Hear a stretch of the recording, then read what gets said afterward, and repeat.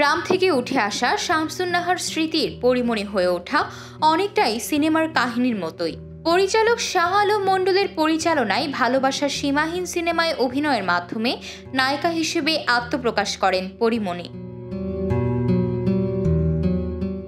বেশ কিছুদিন আগে হঠাৎ করেই অসুস্থ হয়ে পড়েন এই পরিচালক। এরপর দ্রুত মগবাজার কমিউনিটি হাসপাতালে নেওয়া হয় তাকে। সেখানে প্রাথমিক চিকিৎসা শেষে অন্য হাসপাতালে নিয়ে যাওয়া হয়।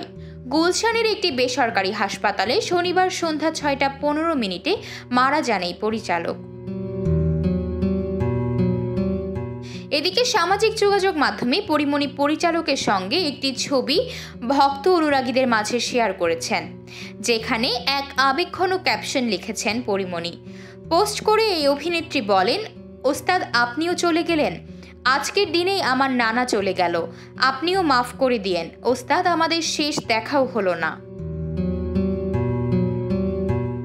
দেখতে দেখতে পরিমণির নানা মারা যাওয়ার এক বছর পূর্ণ হলো শনিবার। নানার প্রথম মৃত্যুবার্ষিকীতে বরিশালেই আছেন পরিমণি। আয়োজন করেছেন দোয়া মহফিলের। শাহ আলম মণ্ডলের হাত ধরে চলচ্চিত্রে পা রাখেন পরিমণি। এই পরিচালক তাকে নিয়ে নির্মাণ করেন ভালোবাসা সীমাহীন ছবিটি, যেখানে নায়কের বিপরীতে ছিলেন জায়েদ খান। প্রসঙ্গত, সোহানুর রহমান সোহানের সহকারী হিসেবে দুই হাজার এগারো সালে চলচ্চিত্রে পা রাখেন শাহ আলম মণ্ডল। প্রথম কাজ করেছেন সত্যের জয় ছবিতে। এরপর সহকারী হিসেবে কাজ করেন বদিউল আলম এবং এফ আই মানিকের সঙ্গেও। পরিচালকের অন্যান্য ছবিগুলো হচ্ছে আপন মানুষ, ডনগিরি এবং লকডাউন লাভ স্টোরি।